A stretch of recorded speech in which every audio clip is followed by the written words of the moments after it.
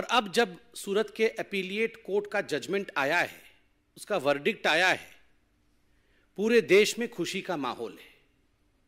और खास करके पिछड़े वर्ग में, जिसके प्रति राहुल गांधी के मन में वैमनस्य का भाव था, जिस पिछड़े वर्ग के लिए राहुल गांधी ने आपत्तिजनक शब्दों का प्रयोग किया था, उन्हें गाली देने का काम किया था और इतना कुछ करने के बाद राहुल गांधी और गांधी परिवार को लगता था, वो बच के निकल जाएँगे, वो नहीं हो पाया है। This is a I would say slap on the face of the arrogance of the Gandhi family ये जो घमंड है गांधी परिवार का, और खास करके जो गांधी परिवार ये सोचती है कि हम कुछ भी कर लेंगे और हमारा कुछ नहीं बिगड़ेगा, आज सूरत के अपीलिएट कोर्ट से यह सिद्ध होता है कि कानून सबके लिए बराबर का है और कानून किसी के लिए भी अलग नहीं हो सकता है। हमें याद है जब ट्रायल कोर्ट का जजमेंट आया था तो राहुल गांधी गांधी परिवार, कांग्रेस के लोग और एक इकोसिस्टम जो कांग्रेस के साथ रहती है, इन सबने मिलकर एक ऐसा माहौल बनाया कि ये ट्रायल कोर्ट में कुछ गड़बड़ी थी। ये ट्रायल कोर्ट के जज और ट्रायल कोर्ट का पूरा का पूरा जो सिस्टम था, कहीं ना कहीं वो बायस था। उन्होंने पक्षपात किया और राहुल गांधी को ट्रायल कोर्ट ने फंसाने की कोशिश की। राहुल गांधी का कोई इतना बड़ा जुर्म नहीं था। क्या हो गया अगर उसने ओबीसी समाज को गाली देने का काम किया? क्या हो गया अगर पिछड़े वर्ग को उसने चोर कह दिया?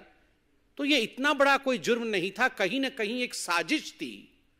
This was death of democracy in India और उसके कारण से सूरत के ट्रायल कोर्ट ने इस प्रकार का एक वर्डिक्ट राहुल गांधी के खिलाफ सुनाया। और नतीजा रहा कि राहुल गांधी आने वाले समय में इंडिया के पार्लियामेंट से एक तरह से डिस्क्वालीफाई हुए।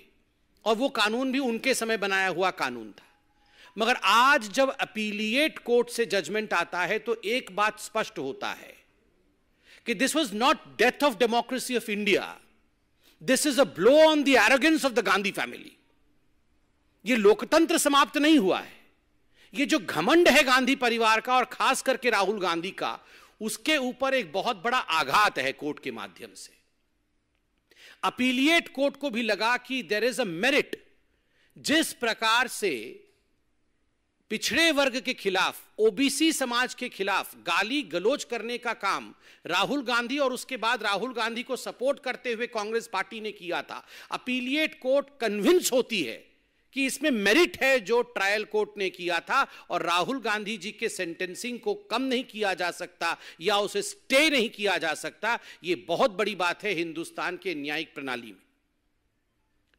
बंधुगण राहुल गांधी जी को सेंटेंसिंग होने के पश्चात पूरे कांग्रेस पार्टी ने एक मोबिलाइजेशन किया था। गली गली में नुक्कड़ नुक्कड़ में जो कांग्रेस के कार्यकर्ता थे, वो राहुल गांधी जी के मोबिलाइजेशन के कारण न्यायपालिका पर ठहर ठहर कर आक्रमण कर रहे थे। केवल हिंदुस्तान में ही नहीं, विदेशों के माध्यम से, दूसरे देशों से हिंदुस्तान के खिलाफ स्टेटमेंट जारी कराने का काम भी कांग्रेस के कार्यकर्ता रह रह के करा रहे थे। एक इकोसिस्टम पूरी की पूरी इंडिया की जुडिशियरी के खिलाफ लग गई थी। और आज जब यह जजमेंट आया है, मैं कहूँगा this is the victory of the common people of India यह साधारण जनता के लिए तो विजय का उत्सव है ही, पिछड़े वर्ग के लिए विजय का उत्सव है ही। यह न्यायपालिका के लिए भी एक बहुत बड़ा विजय है, क्योंकि जिस न्यायपालिका के खिलाफ सड़कों पर आंदोलन करके मोबिलाइजेशन करने का काम कांग्रेस पार्टी कर रही थी, आज उसी न्यायपालिका ने कहा कि आप कितना भी दबाव या प्रेशर की राजनीति हमारे ऊपर करने की कोशिश कर सकते हैं, मगर we don't buckle under pressure आपके प्रेशर टैक्टिक्स के कारण, आपके दबाव की राजनीति के कारण न्यायपालिका झुकती नहीं है, जो अन्याय है, वो अन्याय है। इतना ही नहीं आपने देखा था उनके जो नेता हैं कांग्रेस पार्टी के, राज्यसभा के अंदर। कई बार के सांसद रहे हैं, प्रमोद तिवारी जी। वो तो दो कदम आगे निकलकर और कह रहे थे कि ये तो गांधी परिवार के लड़के हैं। ये राहुल गांधी केवल साधारण मनुष्य नहीं है। ये साधारण हिंदुस्तानी नहीं है। ये तो गांधी परिवार का सदस्य है। उनके नाम में गांधी लगा हुआ है। इसलिए the law should treat him differently कानून इनको भिन्न करके इनके साथ वर्ताव करना चाहिए था। न्यायालय को इस प्रकार दो वर्ष का जेल नहीं सुनाना चाहिए था, क्योंकि ये राहुल गांधी हैं। ये कोई और होते तो ठीक है भैया, तुम दो साल के जेल में जाओ, हमें क्या जा रहा है? मगर राहुल गांधी हैं, इसलिए गांधी परिवार के लिए एक दूसरा मानदंड हो। गांधी परिवार के लिए कानून दूसरी परिभाषित हो। There should be a separate law for the Gandhi family यहाँ तक डिमांड उनके मेंबर ऑफ़ पार्लियामेंट ने किया था, प्रमोद तिवारी जी ने किया था। ये पब्लिक डोमेन में मौजूद है। और आज के इस जजमेंट से एक बात स्पष्ट होता है कि इस देश में संविधान का राज है, परिवार का राज नहीं है। और किसी भी परिवार के लिए प्रेफरेंशियल ट्रीटमेंट नहीं हो सकता है। उसे अलग दृष्टिकोण से देखा जाएगा, ऐसा ट्रीटमेंट किसी भी परिवार के लिए नहीं हो सकता है। बंधुगण, आज हार दो एंटिटीज की हुई है। दो ऐसे मानदंड है जिनका हार हुआ है। Arrogance of the Gandhi family Gandhi परिवार के घमंड का आज हार हुआ है। और दूसरा, ये जो पूरा का पूरा इकोसिस्टम है गांधी परिवार के डिफेंस में जो उतरता है सड़कों पर, उसमें कांग्रेसी तो हैं क्योंकि वो कांग्रेसी तो पार्टी के लोग हैं।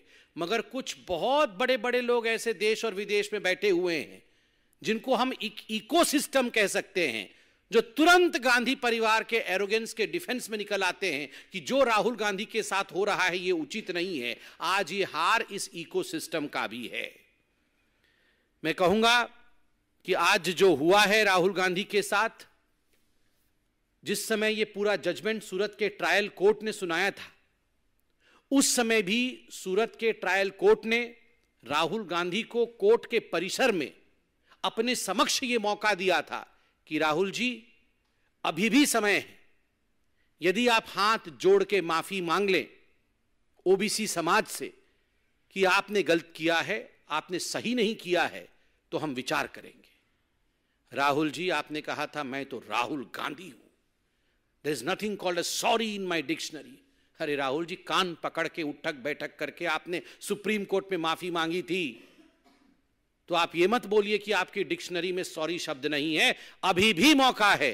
अहंकार को त्यागिए, त्यजिए अहंकार को और देश के सामने ओबीसी वर्ग से क्षमा याचना करिए कि जो मैंने किया, गलत किया, मुझे ये नहीं करना चाहिए था। धन्यवाद। कोई प्रश्न हो तो अवश्य पूछे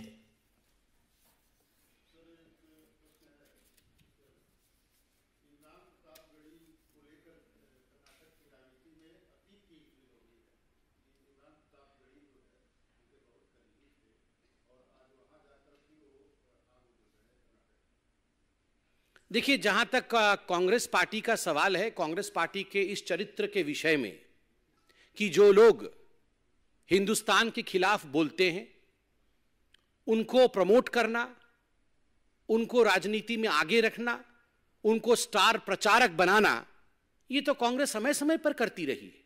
आज जो इमरान प्रतापगढ़ी कर्नाटक के चुनाव में स्टार प्रचारक बने हुए हैं, इस पूरे विषय को लेकर कर्नाटक प्रदेश ने भारतीय जनता पार्टी ने वहाँ प्रेस कॉन्फ्रेंस किया। है उनके स्टेटमेंट्स इमरान प्रतापगढ़ी के पुराने स्टेटमेंट्स जिसमें वो बीहेडिंग को ग्लोरीफाई करते हैं, उसको भी जारी किया है।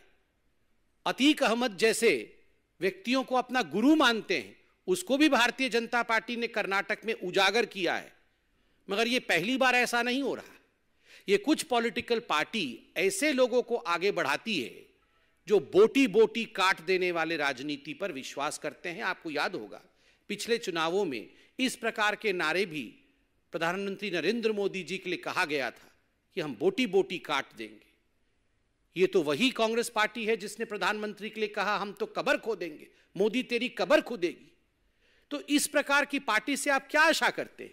ये वो पार्टी है जिसमें मनीष शंकर अय्यर स्टार प्रचारक हैं, जो पाकिस्तान में जाकर गुहार करते हैं, मोदी को हटाना होगा हिंदुस्तान को बचाना होगा। ऐसी पार्टी से और कुछ अपेक्षा करना मुझे लगता है उचित नहीं होगा।